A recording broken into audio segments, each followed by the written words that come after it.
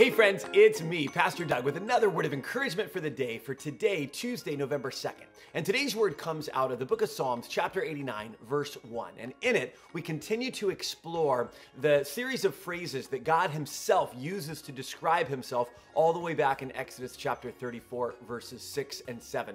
And one of the phrases in that particular passage that God uses to describe Himself is that He says that He abounds in love and faithfulness, abounding in love and faithfulness. So, what's interesting is, first of all, he uses the word abounding, right? Which just means overflowing.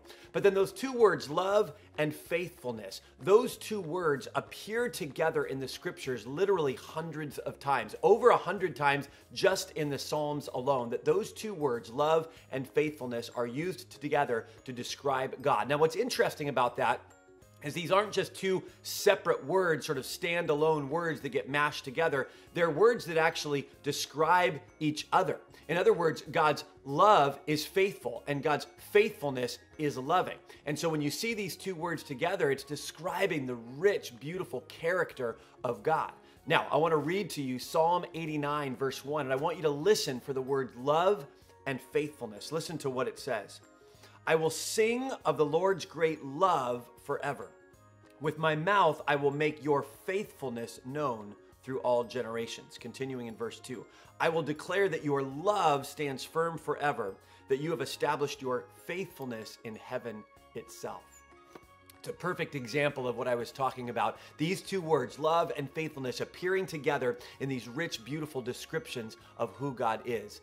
Now, I don't know about you, but there are things that I loved 10 years ago that I don't love anymore. There are things that I loved 20 years ago that I don't love anymore. Think about your favorite song from 20 years ago or 10 years ago. Is it still your favorite song?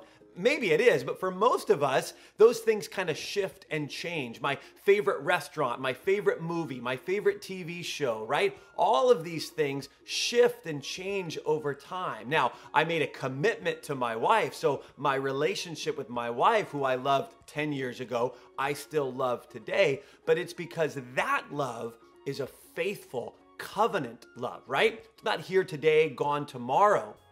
It's a faithful covenant love. We made a vow to love each other. And friends, that's the kind of loving faithfulness that Scripture is describing God as having, that He keeps His covenant love, that He is faithful in His love towards His people. So, friends, be encouraged by that this morning. Have a great day, and we'll see you tomorrow.